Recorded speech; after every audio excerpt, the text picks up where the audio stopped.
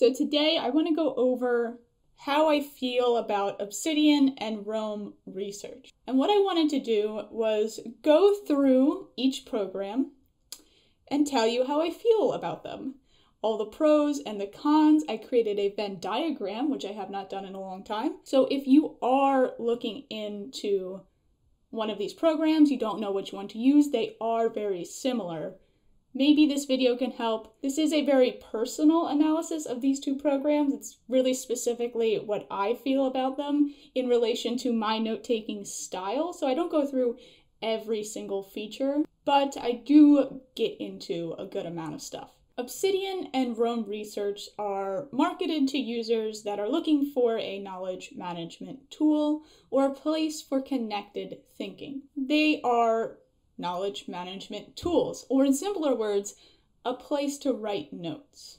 Knowledge management is simply the process of how a user goes about writing notes, and more importantly, how a user contextualizes information through features like making connections with bilateral linking or backlinking, comparing information to personal experiences with daily documents, and also organizing notes in a way that makes returning to and comparing information easy. Okay, moving on to what I feel about these programs and which one I prefer. Let's start with the price points. Obsidian is free, however, there is an option called Catalyst that is $25 up front, not a monthly payment. And in this tier, you get early access to upgrades, special badges in the community, and more. What I really like about this $25 flat payment is that if I were to go into an app store and see Obsidian, I would totally pay $25 for it. It is appropriately priced. Roam Research is priced at $15 a month, and this is for their professional tier. This is steep for someone who's on a tight budget, but if you are in academia, if you are in a field that requires a lot of research, if you're someone who just likes doing research and doing a lot of analytic research, $15 a month, not that big a deal if you know for sure you're going to be using this program a lot. Now, as for the features, here's what they both have that I appreciate equally. They both provide an enhanced markdown plain text style with extremely intuitive shortcuts and link creation.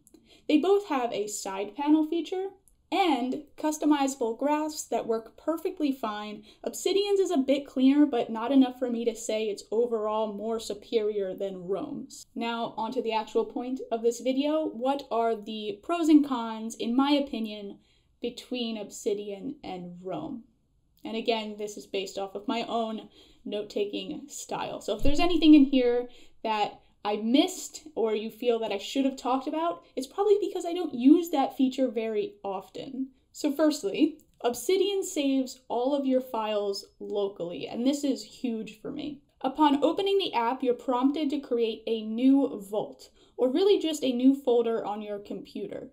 And every note created inside a vault is a markdown file inside a folder. So the UI is really clean. Uh, it isn't too busy. There aren't excessive features to learn. So once you get that vault set up, you can pretty much dive right in, which leads me to a negative about Roam. There is a really steep learning curve for someone who is completely unfamiliar with programs like this. And Roam is web based, so that means it can be slow to load and data isn't as secure. So yes, technically it is more likely for data loss to occur in Roam, but it has never happened to me, so it's not that big of an issue. The loading time is more of an issue. It does take longer. It feels like the interface is also a little bit slower. Now, a positive for Roam is its text formatting. Seeing as these programs are mostly in bullet point style, tabbing a child block under a parent block is something you're gonna do frequently. In Roam, you can click anywhere on a block and tab over like this. But in Obsidian, this isn't the case. You have to place the cursor at the start of the block or highlight the entire block to tab. Also, you can zoom into individual blocks in Roam. Also, something you cannot do in Obsidian. So, as for those sidebars, every single time you create a link in Obsidian and then activate the link or click on it, it appears in the sidebar automatically.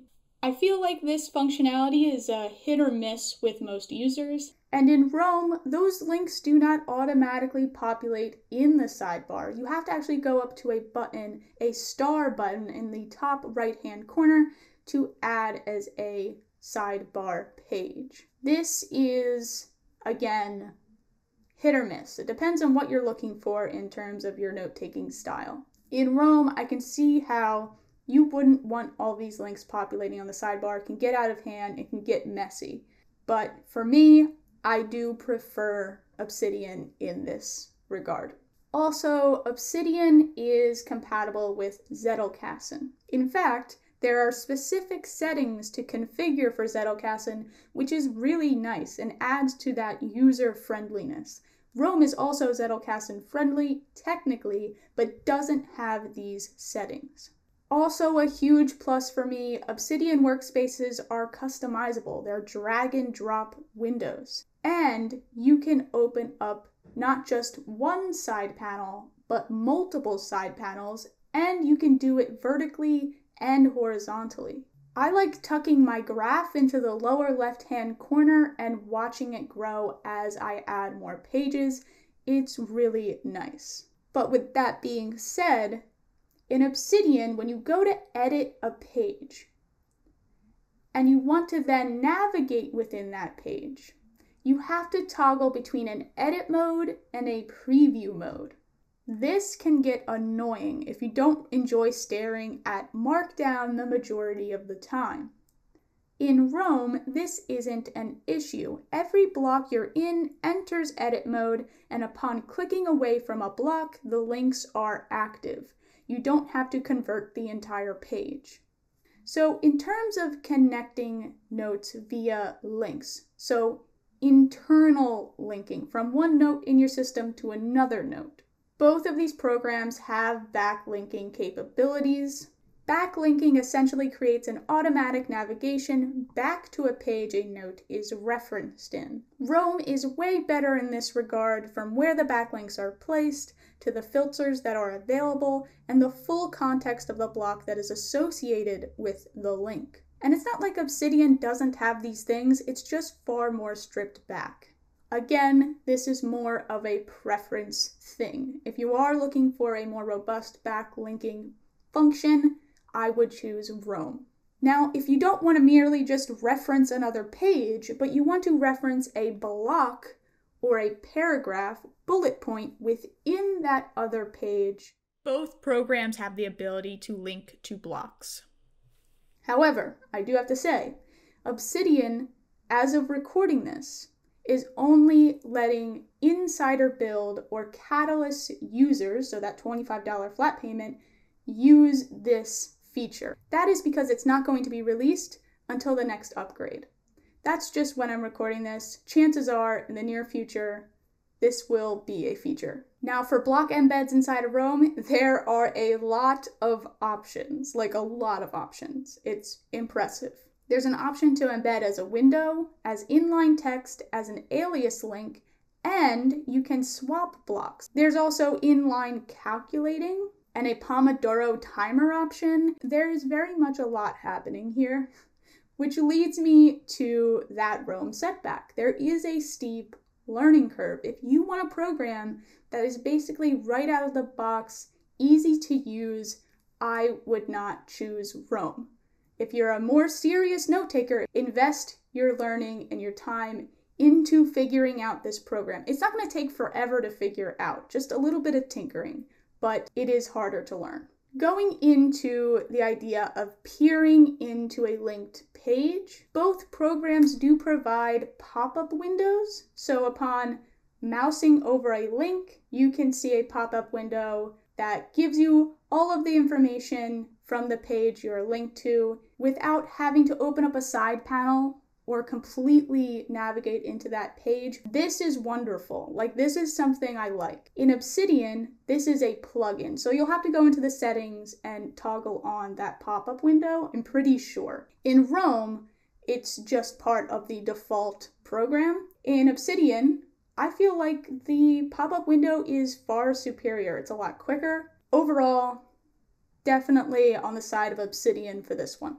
Now, speaking of those plugins in Obsidian, even though Roam has a lot of features, Obsidian has a growing list of these plugins that you can toggle on and off. Another reason why I like Obsidian more in regards to UI experience. Now, even though I never use this feature in Roam, like I use it very, very infrequently, it has to be said the query function or retrieving information, which is a big part of knowledge management, is very involved in Roam. They have this thing called queries, whereas you can go in and search for very specific information and you can compare several very specific bits of information together. And this is great for research. This is great if you're trying to write a thesis. It's really powerful. Before I tell you which program I prefer, here are the features that are my favorites in both programs. So in Obsidian, it's the customizing your workspace that I like the most. The drag and drop, being able to see my graph right there on the screen build as I go along, and also the fact that you can activate links inside of that graph quickly. Also, that built in community based CSS, you can go into a page of wonderful creative CSS designs from the community in Obsidian and you can toggle them on and off and they build over time as well. Like new themes are added. So if you're not really savvy with CSS, that's really nice. For Roam, my favorite feature, and really my favorite feature between both programs, is a feature called versions. It's so simple, but so effective. Upon writing notes in a block, you can add hidden alternative versions of that block inside a table like format. It mostly minimizes text heavy pages for me and is wonderful. So, the consensus. What is the app I prefer personally? That would be Obsidian. I know it's very simple, but I'm just more willing to return to Obsidian. I think whenever I use Roam, I just feel a bit tired and not as motivated. I can that's the best way I can explain it. Um, but that doesn't mean Roam is worse or that Obsidian is superior. I think on paper, Roam is actually better. It's a better choice. It has more in it which is why the price is higher. You get what you pay for, essentially. And all of those impressive features that Roam offers, it's just, I don't really need them. They aren't necessary for me. Bottom line, if you're looking into either one of these programs and you do want to pick one over the other, these are some things to keep in mind. So, if you are in academia, again, I did say this in the beginning, but I just want to reiterate if you are looking into taking really intense notes, taking a lot of notes, taking notes daily, if you're exploring note taking in a more analytical approach, in a more thorough way than just simply making folders and putting files inside of those folders, if you want to take smarter notes, I mean, Obsidian, you can absolutely use a lot of these methodologies. You can use Zettelkasten, you can build a second brain but you're just going to have less features. It's going to be more stripped back. That's all. They both do the exact same thing pretty much. So it really is all about what you're using these programs for. Also, Obsidian is free, so there's no harm in checking it out. That is pretty much it. Um, thank you for watching. I hope you got some value out of this. I know I didn't go through absolutely everything, but I hope this helped. Uh, thank you for watching. Uh, I do want to say that I am going to start uploading videos more consistently in that I'm going to be uploading once a week every Sunday. Before I was uploading pretty much just whenever I felt like it, and that got really stressful. So every Sunday, you can see a new video from me. That's it. Have a good day.